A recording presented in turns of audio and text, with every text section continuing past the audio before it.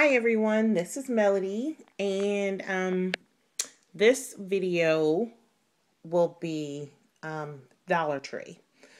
So I got a few things at Dollar Tree, but um, look at these cute little guys. I have picked these little people up, snow people.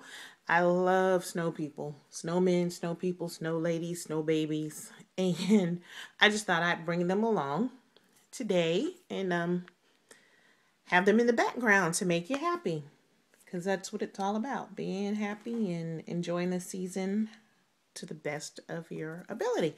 So I went to the Dollar Tree and I'm going to try to do a few videos today because I'm off, but um, just so you know, I didn't like go out well, you really don't even have to explain yourself if you go shopping. But anyway, this is shopping that I've been doing off and on probably the last two months. And I just felt like showing you today, you know.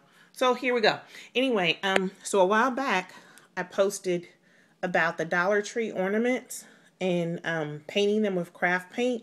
This paint I used um, actually spray paint from Walmart and it was about 96 cents and it was a flat white. So as you can see, it's um it doesn't have like any luster or anything like that, but these were glittered ornaments, so you have that texture going on there. So for, you know, people who are heavily into mixed media and the more rustic look, um, this is what it looks like, the glittered ornament when you spray paint them. Okay. Let's see, let me find one that I craft painted. Okay. Then this is what it looks like if you use uh, just regular, you know, 97 cent craft paint. I think I used uh, maybe apple barrel or plaid. I don't know. Um, this one was a glittered ornament as well. You can still see some of the glitter, but it's on the back, so it doesn't matter. And um, there's a hole so I'm gonna probably just run maybe seam binding or something like that through it. But anyway you can kind of see the difference so to speak probably because the craft paint has a little bit more um, not glimmer or shimmer, but more like maybe a little bit of a gloss to it as opposed to the flat spray paint. However, doing it with the flat spray paint is much easier because you can just lay them down on like wax paper or newspaper or something like that and just spray paint several at one time. Whereas with the craft paint, you know, you're doing it by hand with a brush. So this was a technique of covering it, uh, I put gesso down on it first, and then I covered it with white craft paint, and then I went back over it with blue craft paint. Then I went back over it in certain areas, daubing the white craft paint, and I'm kind of on the fence. I like I like both ways of doing it. But, you know, that's just something you can do. Then I went through, this one was um, the same technique as the blue one, uh, white and green craft paints. But then I went back and I glittered it with uh, a little bit of chunky glimmer dust. And I really like that. And then, you know, since this one, this particular one is a butterfly, you could go back and add like a Tim Holtz key or something like that. You know, you can make it as grungy or as girly or as feminine or shabby as you want. This is um, a painted one. Okay. This is a another spray painted one. And again, you can see kind of like the flat versus what you do with craft paint. But I really like this guy. He's prancing. Doop, doop, doop, doop, doop, doop, doop. There you go. So that's just something I wanted to show. Oh, I glittered some too. Forgot. So there's lots of chunky um, clear glitter on that. Here's a reef that they had. And the thing about this reef was so funny. Um, well, you know, cool is I found it and it came in a two pack. And then you guys have all been using the Tim Holtz Reef die cut uh, big Sizzix die. And I found this reef and it, it looks just like that. It was what a weird, crafty coinky dink. And then here's the reef without the paint. It had this glitter on the back and I kind of scraped some of it off and then I just mainly fooled around with the front of it. And I left bits of the original glitter, but I uh, also went in with a clear glue. I think I used Glossy Accents and then I dipped this in a mound of my own iridescent glitter that I liked, chunky glitter that I liked much better.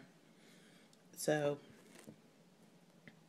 you can just see the difference. Okay.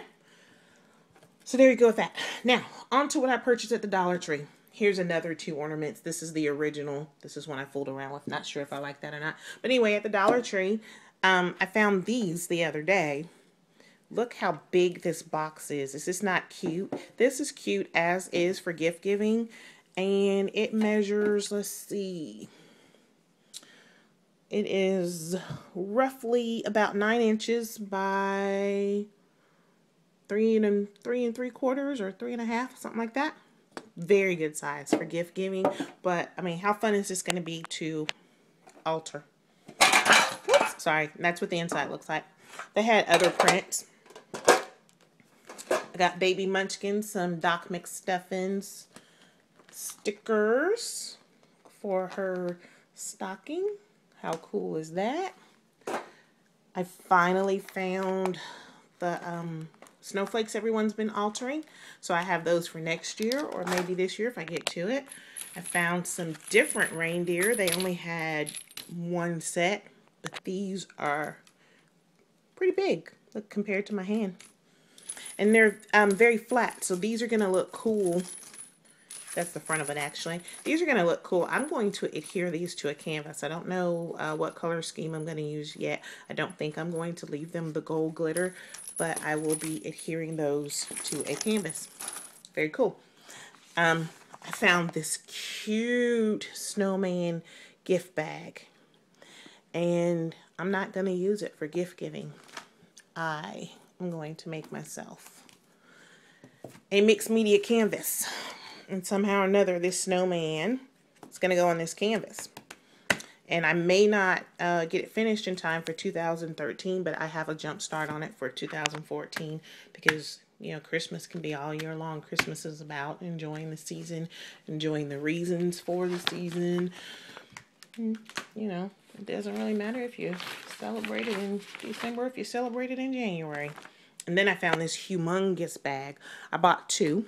One's going to um, hold my mother-in-law's gifts, but one is going to get cut up.